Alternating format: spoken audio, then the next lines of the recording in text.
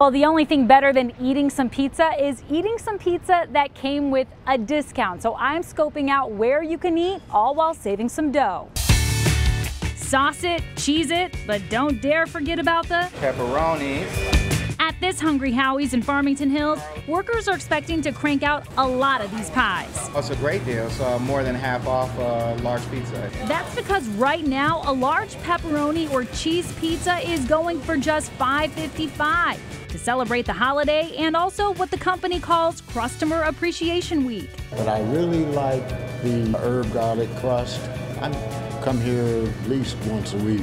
But with this carryout deal going all the way till Sunday, he says he'll be coming in twice. I also scoped out some savory savings at Domino's, where this week the pizza chain enhanced its three topping carryout deal to include five specialty crusts, even the gluten free one, all for $7.99. But if you've got your heart set on Jets, then at participating locations, you'll get a large pepperoni pie on Friday only at a $4 discount of $10.99 we found Anthony Hamilton digging in ahead of the deal. When I say Jets Pizza, you say what? Fun, happy, and full.